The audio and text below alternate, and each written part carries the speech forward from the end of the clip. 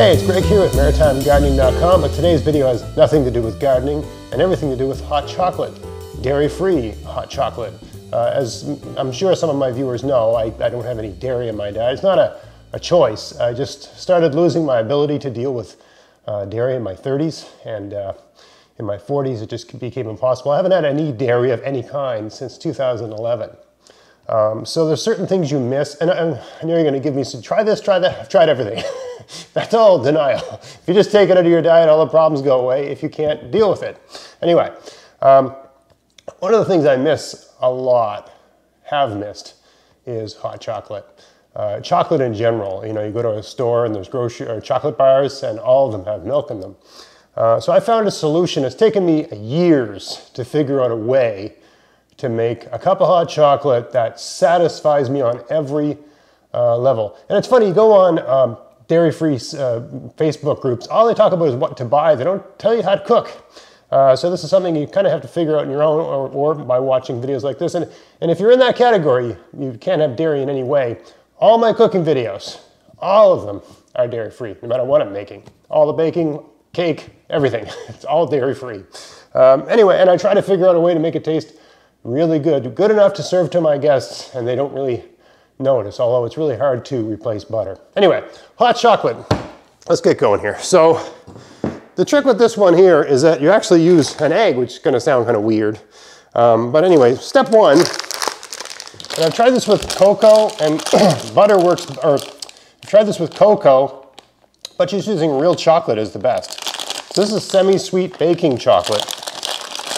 Um, and if you read the ingredients very carefully, there's absolutely no dairy, no milk of any kind in it. So that's what I use. Just because it says semi-sweet doesn't mean it's dairy-free. You have to read the ingredients.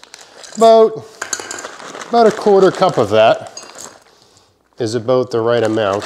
I usually just try to cover, fill the bottom of this big uh, uh, heat-proof mixing thing. Okay, so I got about a quarter cup of that.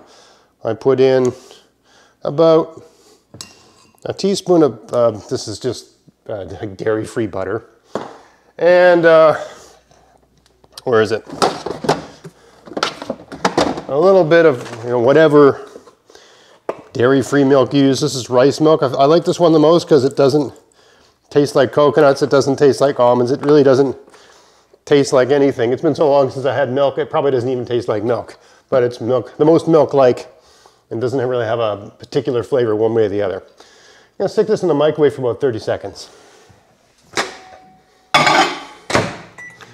While that's happening, I'm gonna boil some water, because this, is this just uses boiling water. All right, now if 30 seconds doesn't get the chocolate nice and melted, I mean, you can still see there's some pieces of chocolate there, but it, it's hot, okay? And we have 30 seconds, just, just give it a few more, give it more time, maybe, maybe 40 seconds, 50 seconds, really depends on your microwave. All right, now I'm gonna put a heaping teaspoonful of sugar in there. Remember, this is semi-sweet hot chocolate, so it doesn't have a lot of sweetness, and you want your hot chocolate to be sweet. Um, and what I'm going to do is take this hand blender and just get that going a little bit. And you notice I've got a big, heavy jar here. That's so I can pour water in. Okay? Just some. Enough water to get everything going here.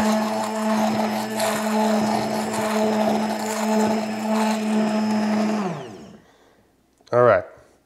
Now, I'm just going disconnect this so it doesn't not tip over. Now, the reason you add an egg is because the egg adds fat. And, you know, it's got some protein, of course, too. But this will thicken it all up and just give it this creamy, fantastic texture. All right, so you, you don't have to do this. And if you're worried about having a, a raw egg in with it, then, then don't do it, right?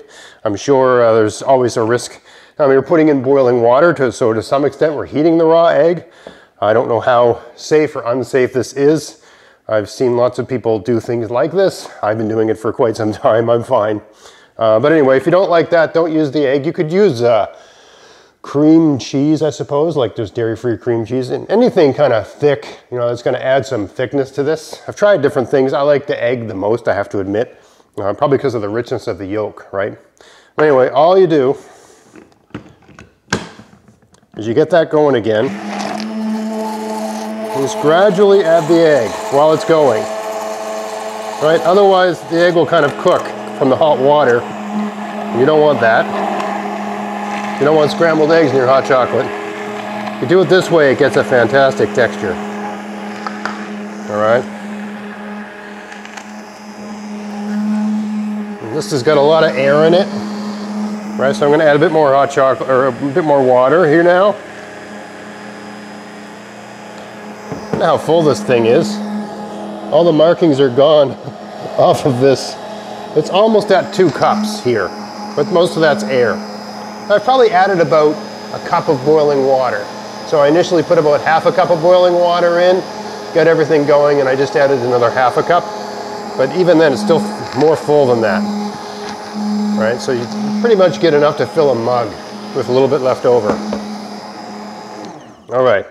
Now, some people recommend um, with things like this, adding uh, salt, a little bit of salt to bring out the flavor of the hot of the chocolate. And it, it actually works out kind of fine in terms of temperature. One egg is just enough to bring the temperature down so that it's just right for drinking. But you see this is a fairly large mug. It's sort of a non-standard, you know, it's like a tea mug, right?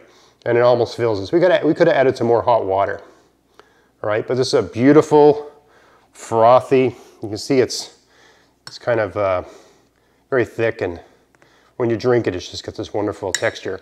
All right, so let's give us a taste. All right, now, if you still don't think it's safe after doing this, you could just stick it on the stove and bring it to a boil with a whisk, right? Uh, that way you know it's, you know, you've killed anything that might be in the egg.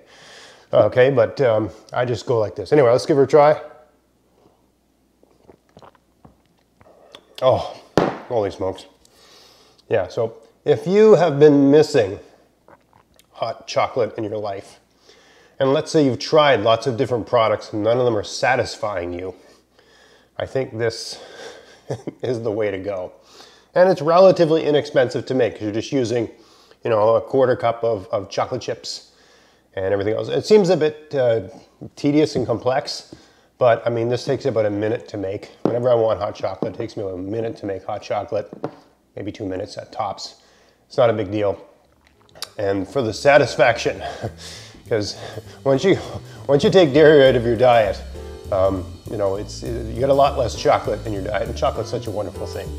So give us a try, and uh, let me know what you think in the comments. Uh, until next time, have fun in your garden, have fun in your kitchen, enjoy chocolate.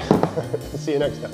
Hey, if you want to help support everything I'm doing here, go to Veseys.com to buy whatever you need for your garden this year. And use my coupon code GAVS23 to get free shipping as long as there's a pack of seeds in the order and there's no oversized items in the order. Check out the description box of this video for details. You can buy everything you need from Veseys.